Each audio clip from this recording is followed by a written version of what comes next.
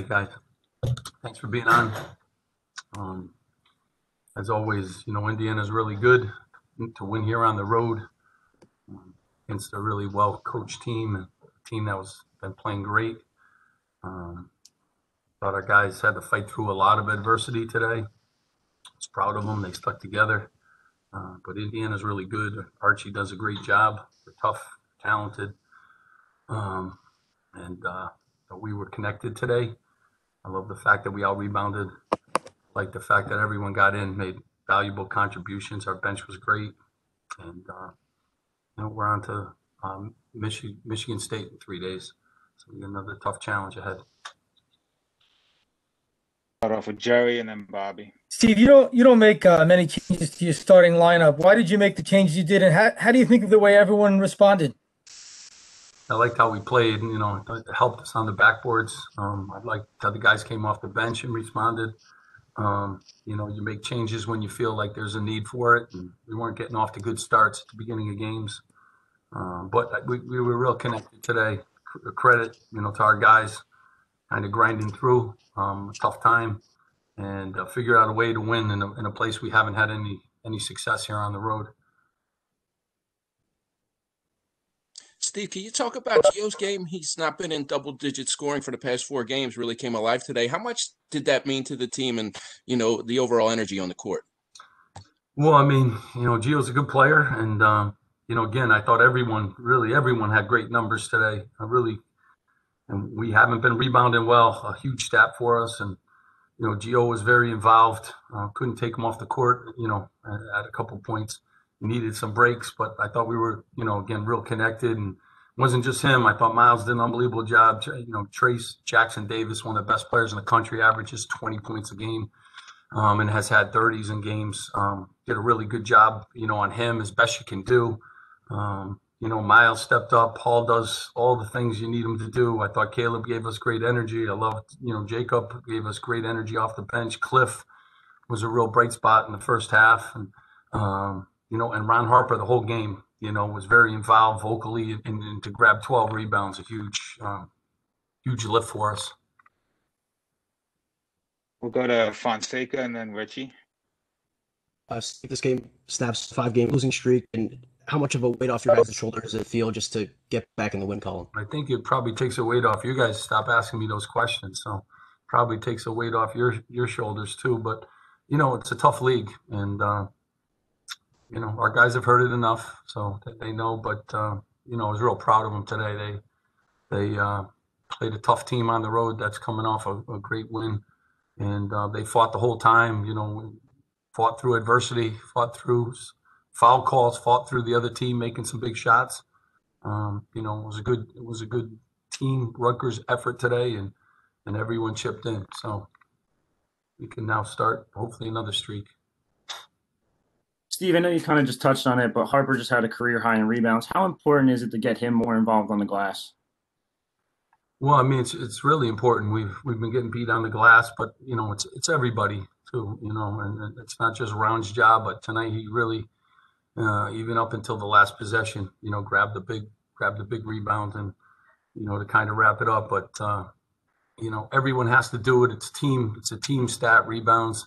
Um, you know, and, and the box outs are really important too. So even the guys that didn't get the rebounds today, they boxed out their guy so he wouldn't get it. And I thought we did a great job of, of finishing finishing those possessions with great blockouts against a really good, you know, rebounding team. We can go to Aaron Brightman and then back to Jerry.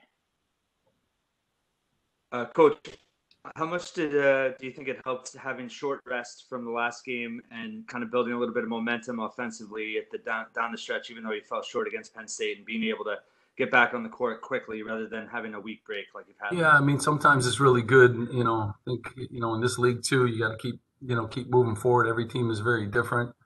Um, you know, but our guys bounced back. Um, and I thought they were really, you know, we made the extra passes. I mean, we had, you know, 15 assists. The ball really didn't stick. It moved, um, and guys got you know some good looks. Even the ones that we didn't make uh, were very good looks. But you know, it was our defense really. When we needed to get stops, we did. You know, down the stretch, and that was very important. We didn't do that against Penn State, and Uh, obviously, again, we didn't rebound, so we got to continue in those areas, getting better. And if we rebound and if we defend and string together some stops, um, you know, the ball will go in. And you know, we got to the free throw line too tonight. Not you know, not a lot, but is we at least matched the other team's free throw attempts, and, and that was a huge key for us too. So we were defending without fouling.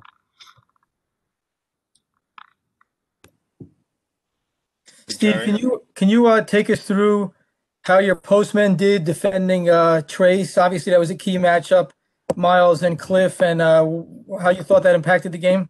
Yeah, I mean, I thought you know they knew how good he was. I mean, it's no secret to anybody. Um, he's so good, and he's so good at drawing fouls too. So huge key for both those guys. Where you know to defend him without fouling. I mean, we lost him in the zone one time. He got you know an alley oop dunk, a couple putbacks he got, but you know when he caught the ball in, in in the post, I thought we did a really good job of being alert and digging down. Our guards played with great length tonight too.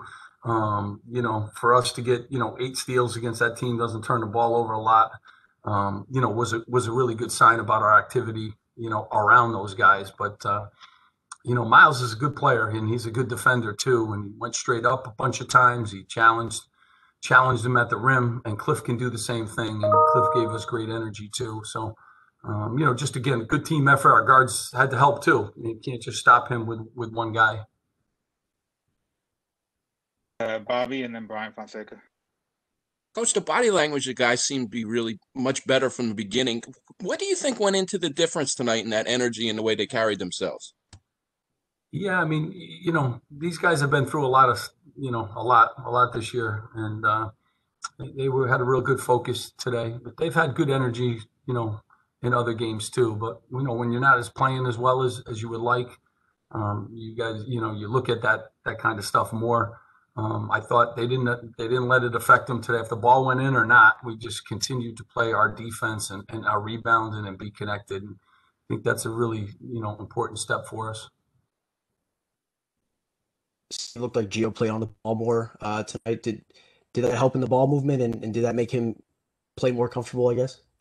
No, I mean, I really like, I, I everyone just moved the ball. You know, I thought it was, you know, great. And, and Paul does a good job too. Of Runners and JY came in and did a good job too. So, um, you know, I like, I like the fact that the ball never stuck in anybody's hands. When guys were open, you know, we made the extra pass, threw it into the post. Um, cut down on our, you know, dribbles. So, you know, when, when they share the game like that and they're connected, but connections start, you know, on the defensive end. They'll be more connected on the offensive end if they are on the defensive end. And they were connected on that end of the floor today, and it, it goes both ways. Once you do that, they're usually more connected, you know, on the offensive end. Thanks, guys. We'll let Coach go on that. Appreciate it. Guys, I always appreciate you guys being on. All right, you guys have a great day. Thanks. Thanks, Coach.